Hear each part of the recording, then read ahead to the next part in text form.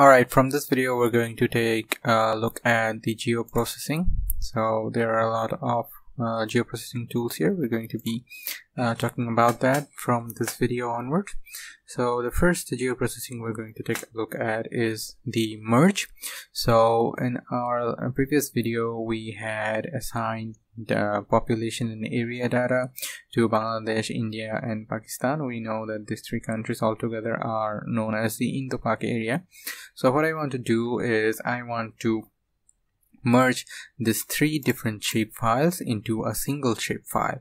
Alright so when you go to attributes table of these individual shape files you'll see uh, only one field and only one polygon and the name there of the country.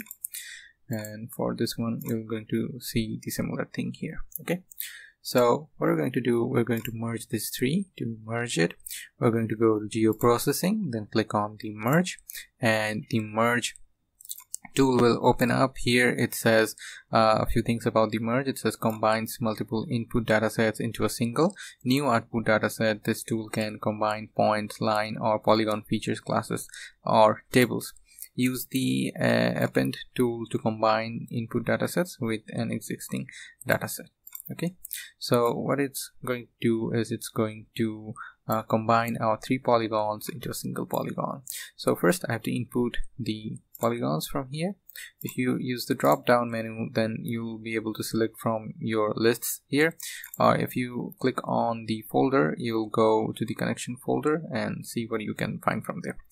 So uh, I prefer working with the lists since it'll be much easier. So first let's input the bgd adm0 I have no idea why it takes so long for me to do something, to do something, to do something. There we go. Let's take India and then let's take Pakistan there you go. We have it. Now the output data set you can uh, change the location of the output data set. Sometimes what happens is that if you change the output data sets the software gets cranky and angry and sad and it cries. It's, it tells you that no i will not do that. I want to save it in the c folder in the c drive.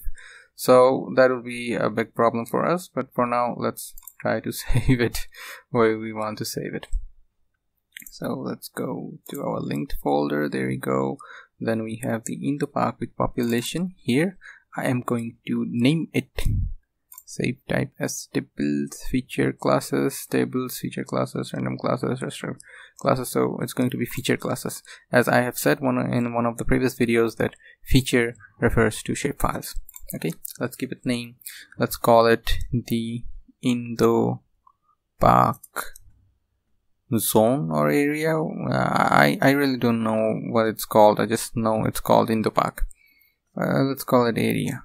Okay there we go. Indo-Pak area. And do a save there we go.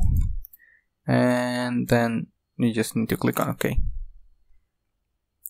and it's merging. Merge merge merge. Merge merge merge. Merge merge merge merge merge. It is merging and it's merged okay? And you'll see uh, a new new shapefile on your uh, what do you call it lists. So let's remove the let's uncheck the previous ones. This is our new shapefile and if you go to the open and uh, the attributes table you'll see that this time it has uh, three field IDs instead of one. So the first field ID is Bangladesh, the second one is India, the third one is Pakistan, if you come here you'll see that the areas are also here along with the populations. Okay? So that is how you can do a merge. And now if you take the identify and click on here there you go. It still is India. Okay and it is only showing it for India. So when we merge something, they just merge into a single shape file, but they still retain the, uh, the older shape files actually become the individual polygons, different individual polygons, such as the case was for, let me just uh, close it and show you an example. If I open the BGD administrative area 1, you will see here, uh, let's zoom in there there you go.